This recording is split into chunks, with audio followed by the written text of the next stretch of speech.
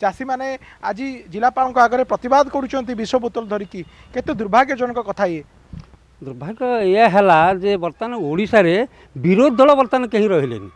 ଯିଏ ଶାସକ ସେଇ ବିରୋଧୀ ତାଙ୍କର ମୈତ୍ର ଭିତରେ ସବୁ କାମ କଲେ। ଯେଉଁଟାକି ଆଜି କଳସ ଖମଣ ଦଶପଲା ବ୍ଲକର ଯେଉଁ ସୋସାଇଟିରେ ଏଇ ଯେଉଁ ରଘୁନାଥ ମହାକୁଳ ଇଏ ପୂର୍ବରୁ ଦୁଇ ଥର ବର୍ତ୍ତମାନ ସସ୍ପେଣ୍ଡ ହେଇଛନ୍ତି ଏମିତି ଅର୍ଥ ହେରଫେର କରିଛନ୍ତି।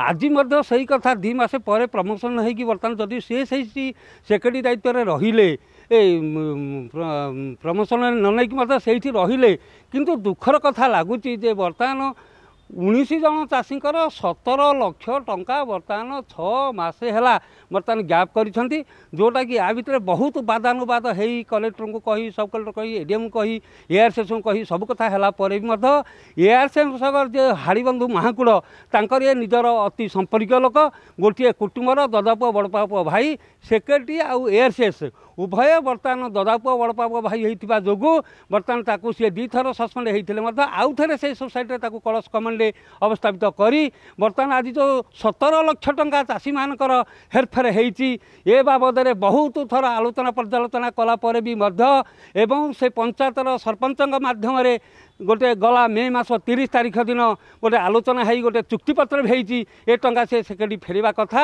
କିନ୍ତୁ ଆଜି ପର୍ଯ୍ୟନ୍ତ ନ ଫେରିବା ଦ୍ୱାରା ଗଲା ଦିନ ଗଲା ସତେଇଶ ତାରିଖ କାଲି ବିଗତ ଗତକାଲି କଲେକ୍ଟରଙ୍କୁ ଦେଖା କଲେ ମଧ୍ୟ କଲେକ୍ଟର ତାର ପଦକ୍ଷେପ ନେଲେନି। କାହିଁକିନା ତାଙ୍କର ସେଇ ସଶସ ନାହିଁ।